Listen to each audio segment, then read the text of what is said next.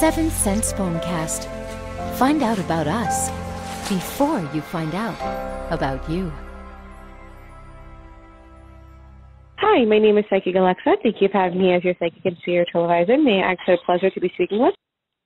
Uh, yes, Alexia. I hope you had a, a happy uh, Christmas. Uh, my name is Bryan. Do you need my date of birth? Yes, I do. Okay, it's March the 29th, 1970. Okay, it's And lovely I to meet you, Bryan. Very nice to meet you. I, I just uh, wanted to know what a, a a lady thinks of me. I've been in love with this lady for a long time, and her and I aren't really speaking. There's there's been a, a misunderstanding between us. But anyway, I've been in love with her for a long time, and I just needed to know her feelings for me, and if uh, we were ever going to iron this out, or will we ever be in a long term relationship, or you know what what what what would happen. Okay. I can see that she thinks highly of you despite your guys' miscommunication.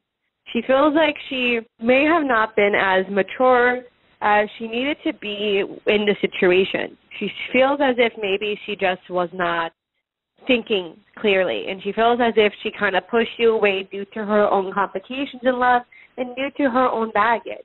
I can see that the connection between you both is rather powerful and strong, and it's going to continue to overwhelm her, and she's going to have to have no choice but to accept it and to face it.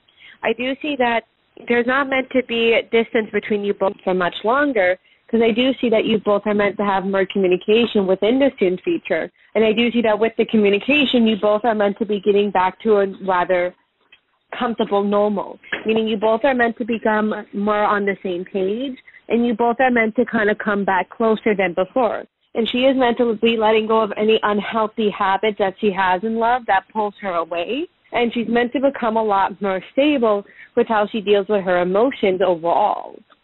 So I do see that there's meant to be more communication between you both within the soon future. And I do see that you both are meant to be getting back on track. And I do see this happening more within the beginning of the new year. So I don't see it being too long from now. I do see you wishing her um, a good and happy new year and the near future. So you may be contacting her yourself within the soon future just to see if you were to get a response and just to send good wishes.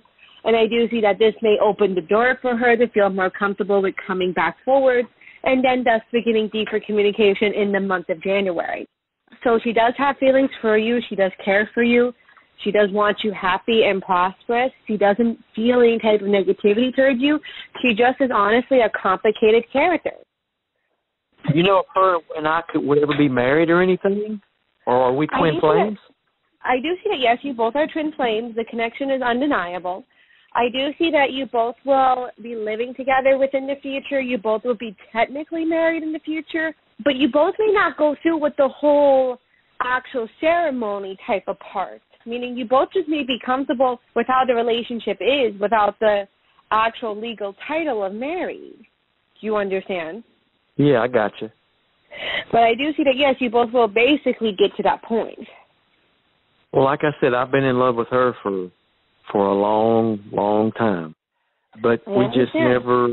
It, no, I was just gonna say, and it just seems like may- maybe she. I, I mean, I don't know. I just because you know she she's told people that she hoped I found I found someone, and I do see that she has the same feelings and emotions for you. But for now, it is best to continue focusing on yourself and focusing on prospering. The reasoning to why this is important is because you're not meant to be somebody who waits on anybody, but somebody who just goes with the flow and moves forward. So I do see that you both will have that chance of rekindling in the soon future, like I explained, and I do see you both taking it from there. Normally, my extension's 590. I hope to hear from you again.